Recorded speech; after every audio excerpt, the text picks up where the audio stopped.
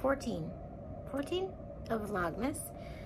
December 14th, I just took a progress picture of my mystery knit along. This is my advent knitting. The pattern is Pufflings. It's a shawl by Heidi Alander. I just love it. So I'm through part four. So I just love it. Just love it. So I hope to get more progress in that later today. And I overslept a little bit this morning, but Zach was on time. Well, he was on time as he got out of the car. I don't know about getting to the classroom. My job is getting him there.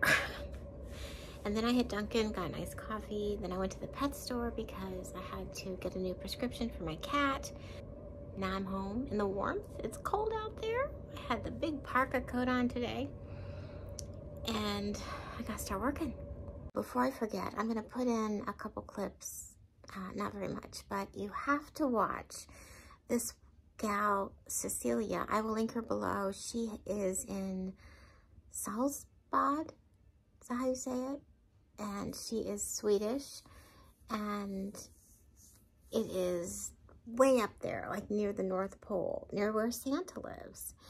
And she shows the Northern Lights, and she and her boyfriend live there, and it is really remote. It is amazing how remote it is, and it's just, she has a really beautiful channel, and she shares a lot of the atmosphere and the living there, and this time of year, how they're celebrating Christmas, and yeah, I think you'd enjoy it. So my husband and I watched a couple episodes last night.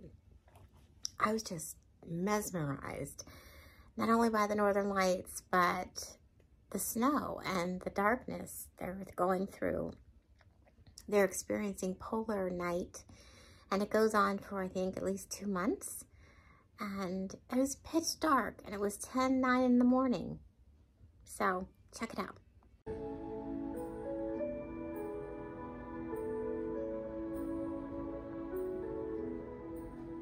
It is approaching 12.30 and I'm hungry. So we need to figure out lunch.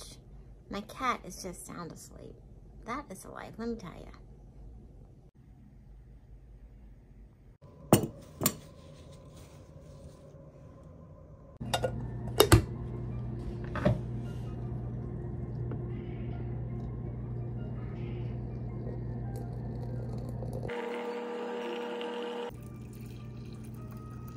My mom gave me these lemon drops. Are so good. Oh my gosh, so good. I'm working on my Saturday shrug. I haven't picked this up for days. It's just knit purl, knit purl, knit purl, knit purl. This is a free pattern on Ravelry. And it's a big cowl, so it goes over your shoulders to keep you warm and it's mindless knitting. So I'm just doing a little bit of that. And I hope to go to uh, yoga tonight. That's at 7. So I just finished working. It's a little after 4.30, so sun goes down soon. and I'm enjoying this lemon drop. So good. So this is my shrug so far. And I went down a needle size, but I wish I went down two needle sizes. I think this is now I can't remember. I think it's an 8.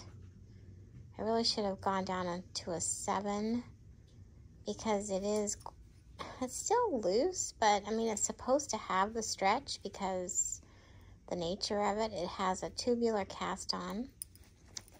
And yeah, I mean, I'm going to keep going. I'm not going to start again.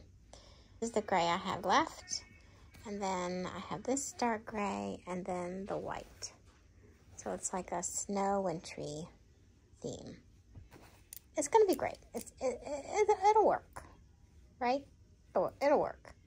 That cute little stitch marker. So I'm home from yoga. And it was an excellent class. It was actually a substitute. so I have to see if she teaches any classes because she was awesome. So now I'm going to take a shower and I think I'm going to make a peanut butter smoothie.